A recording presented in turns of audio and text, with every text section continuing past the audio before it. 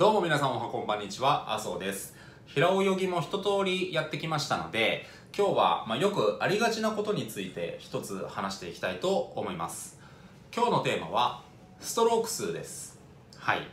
競泳というスポーツは、まず自分が書いたり蹴ったりすることによって生み出される推進力と、水から受ける抵抗、まあ、こちらブレーキですね。この2つのバランスでどれだけ速く泳げるかというのが決まっていきます。なので、一かきでできるだけ、えー前に進めるように、ストロークの効率を上げたりですとか、あとは、まあ、1回で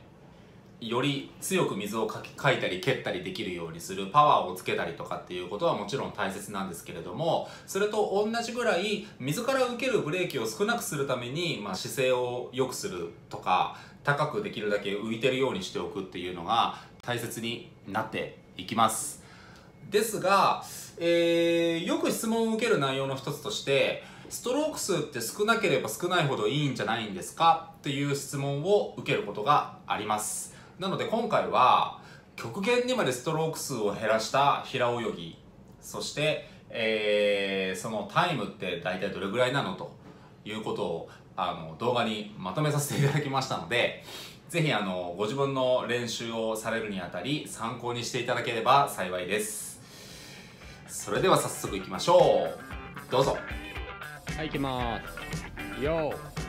い。それではまずはじめに極限にまでストローク数を減らした平泳ぎが果たして何秒なのかというのをご覧いただこうと思います。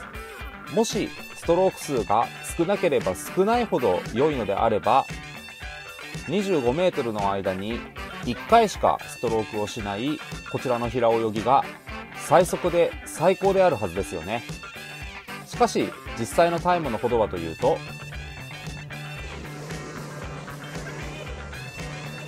28秒1。はい、行きます。先ほどの例は少し大げさでしたがはい。今度は逆に加速局面をできるだけ増やした平泳ぎは一体何秒なのかというのをご覧いただこうと思います加速する回数が多ければ多いほどタイムが速くなるのであればこの平泳ぎが一番 25m を速く泳げる方法となりますそして実際のタイムは？17秒1。はい、行きます。最後にご覧いただくのは僕にとって 25m を一番速く泳げる平泳ぎのテンポですこちら 25m 全部で8ストロークで泳いでおります書けば書くほど速くなるわけでもなく少なければ少ないほど速く泳げるわけでもないということがこれを見て15秒50。ご理解いただけますでしょうか？自分に見合ったストロークの中で効率を上げ自分に見合ったテンポの中でできるだけストローク数を抑えていくというのが速く泳ぐためのコツになります。